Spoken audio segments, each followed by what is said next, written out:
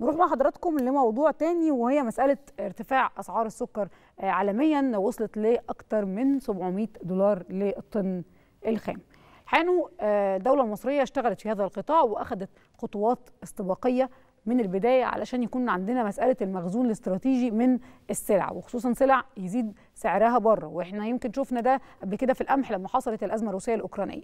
فيما يخص السكر إحنا عندنا كان خطوات استباقية حصلت في هذا المجال وتطوير للمصانع الحكومية علشان نقدر إن إحنا ننتج بمعدلات أكتر ونوصل للاكتفاء الذاتي من السكر. إحنا واصلين تقريبا لما يقرب من 90% وإضافة لده عندنا مخزون لفترات طويلة وده لأول مرة حصل في شهر إبريل اللي عندنا مخزون لشهر إبريل 2024 خلينا نتكلم مع حضراتكم أكتر بشيء من التفصيل. معنا دلوقتي على الهاتف أستاذ أحمد أبو اليزيد رئيس شركة الدلتا للسكر التابعة لوزارة التموين وعضو مجلس إدارة الشركة القابلة للصناعات الغذائية. مساء الخير على حضرتك يا دكتور.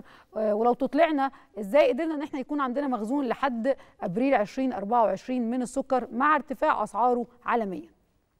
مساء الخير يا فندم على حضرتك وعلى السادة المشاهدين آه زي ما حضرتك تفضلتي في التقرير الكريم آه مصر آه حصل فيها يمكن طفرة نوعية في إنتاج سلعة السكر وده جه من خلال التوسع في أراضي مستصلحة جديدة والتوسع في رقعه المساحة المنزرعة بمحصول بنجر السكر. إحنا مصر بتنتج السكر يا إما من محصول قصب السكر في منطقة وجه قبلي وده بيقوم على إنتاجه شركة السكر والصناعات التكاملية بتنتج متوسط ما يقترب من 800 ل 850 ألف طن سكر من قصب السكر. وبالنسبة للمصانع القائمة على بنجر السكر أصبح هناك في مصر حوالي ما يقترب من 8 مصانع لإنتاج السكر من بنجر السكر أربعة منهم تابعين تبعية مباشرة لوزارة التموين زي شركة الدلتا للسكر والدقهلية للسكر وشركة الفيوم وشركة النوبرية وأربعة لهم علاقة باستثمار سواء استثمار محلي أو استثمار خارجي زي شركة النيل للسكر وزي شركة صفولة أو المتحدة والأسكندرية للسكر وزي شركة الشرقية للسكر وحديثا شركة القناة للسكر اللي هي في غرب المنيا. اللي بإذن الله هتبدأ تنتج إنتاج فعلي بدءا من العام القادم. الكلام ده بمساحة مزارع حوالي 640 ألف فدان بنجر سكر بتنتج حوالي ما يقترب من 1 و800 1 مليون و850 ألف طن سكر. يبقى إجمالي المساحة اللي مصر بتنتجها تقريبا من السكر يقترب من 2.8 من 10 مليون طن لأن عندي منتجات تانية زي الجلوكوز وال high fructose دي بتيجي من منتجات الذرة. الكلام دوت من إجمالي استهلاك محلي. إحنا المواطن بيستهلك تقريبا حوالي 32 كيلو جرام سكر في السنة. مصر بتستهلك سنويا ما يقرب من 3 وواحد من 10 مليون طن سكر. فبناء على هذا الإنتاج إحنا أصبح لدينا اكتفاء ذاتي يقترب من ال 90% هو بالتحديد يعني عبارة عن 87% باقي الكمية هي عبارة عن حوالي 300 ل 400 ألف طن سكر بنستوردهم في سكر خام وبيعاد تكريره داخل المصانع المصرية هنا. اللي حصل طبعا إحنا كلنا عشان نبقى عارفين الموقف إيه. العالم كله حصل فيه جموح في أسعار الطاقة. يعني إيه جموح في أسعار الطاقة؟ يعني ارتفاع في أسعار البترول والغاز. أكبر دولة في العالم بتنتج سكر هي البرازيل ويليها بعد كده تايلاند ويليها بعد كده الفلبين ويليها بعد كده الهند.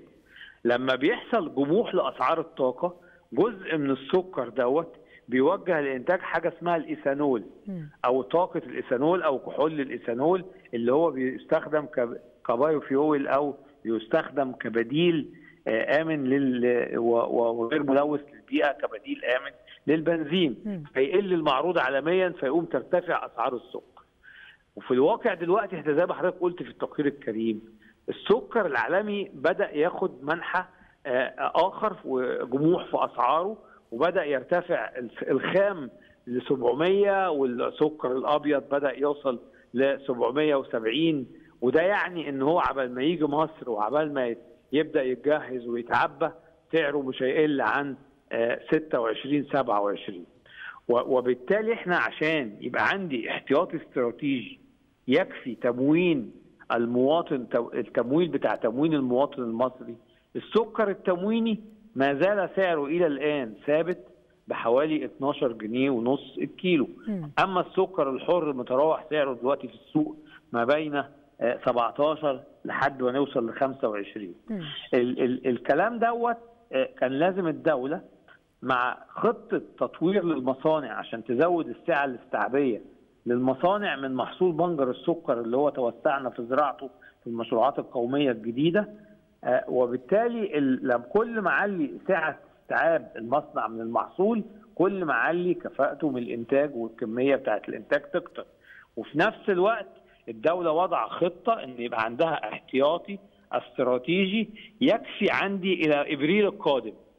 فالحمد لله عندنا بنطمن أهالينا وبنطمن المواطنين يوجد سكر كاحتياطي استراتيجي لحد إبريل القادم.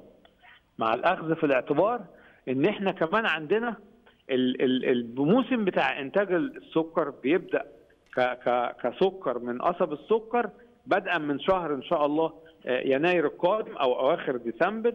وبالنسبة لبنجر السكر برضو بيبدأ مع شهر مارس. وده الموسم الجاي إن شاء الله الجديد. فده مديني نوع من الأريحية ونوع من توفر هذه السلعة الاستراتيجية الهامة. والتعاقدات اللي حاصلة في الموسم الجديد شكلها عامل إزاي؟ علشان نستمر في ده إحنا بنتكلم على إن إحنا واصلين ل 90% من الاكتفاء الذاتي. إحنا إحنا بالفعل حضرتك عشان التعاقدات للموسم الجديد يعني توجيهات جت توجيهات مع الوزير من خلال اللجنة العليا للسكر وقعدنا مع السادة يعني ممثلي المنتجين سواء لمحصول بنجر السكر أو قصب السكر م. وبنتناقش معاهم إن شاء الله للموسم الجديد إن يبقى في أسعار مرضية زي ما حصل ارتفاع لأسعار التوريد اللي خاصة بقصب السكر السنة اللي فاتت. ونفس الكلام بالنسبة لمحصول بنجر السكر عشان نشجع أهالينا المزارعين للتوسع في مثل هذه الزراعات الهامة.